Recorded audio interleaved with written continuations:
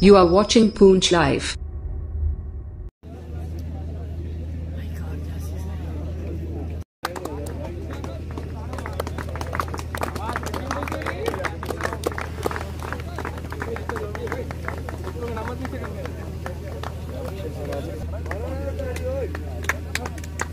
Golden Tiger.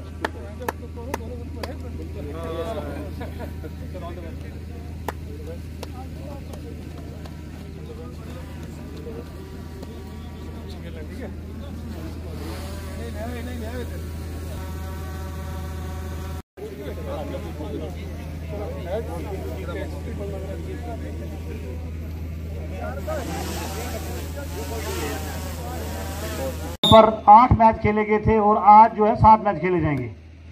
तो मैं तमाम प्लेयर्स की तरफ़ से मैं शुक्रिया अदा करता हूँ। यहाँ पर हमारे लेफ्टिनेंट कर्नल बलजीत सिंह जी। और पूरी यूनिट का, क्योंकि बड़ी मेहनत, लगन, इस गर्मी के बावजूद भी उन्होंने ग्राउंड को बड़ा एक दुल्हन की तरह सजा के रखा हुआ है। आप देख सकते हैं कि चारों तरफ़ कलर्स, जो शमियाने लगे बॉल हो, बास्केटबॉल हो, हॉकी हो, इनका एक बड़ा कलीदी रोल रहता है।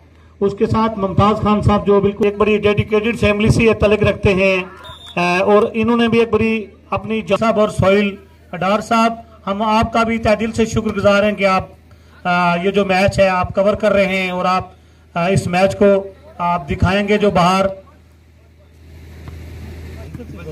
बलजिंदर सिंह बोला सर ना? बलजिंदर सर आपको सुनने में प्रॉब्लम है। मेरा नाम परवेज मलिक है और यहाँ कल जो है टूर्नामेंट शुरू हुआ है जो इंडियन आर्मी की तरफ़ से यहाँ पर ऑर्गेनाइज करवाया जा रहा है और जितने भी एक्सट्रीम बॉर्डर पर एलओसी पर जो गाँव बसते हैं वहाँ की टीमों को मौका दिया गया है वहाँ की यूथ को मौका दिया गया है। सोलह टीमें इसमें पार्टिसिपेट कर रही है आज जो है पहला क्वार्टर फाइनल चल रहा है। इसके बाद आज ही इसके तमाम क्वार्टर फाइनल और सेमीफाइनल कंप्लीट हो गए। और कल इस टूर्नामेंट का जो है ग्रैंड फाइनल होने जा रहा है। मेरी तमाम लोगों से जितने भी एडजाइनिंग गाँव हैं उनसे गुजारिश है कि कल ज़रूर आप इस फाइनल को देखने के लिए आए।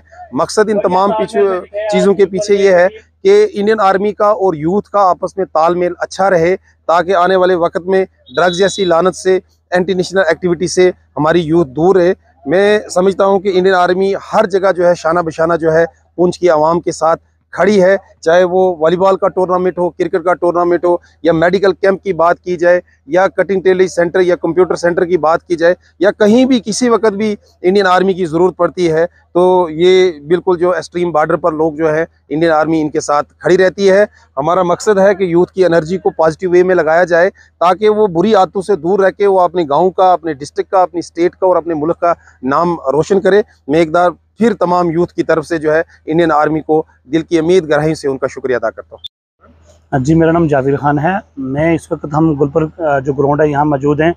यहाँ पर इंडियन आर्मी की तरफ़ से यहाँ पर एक वॉलीबॉल टूर्नामेंट जो है वो शुरू करवाया गया था कल जिसकी ओपनिंग कल की हुई थी यहाँ।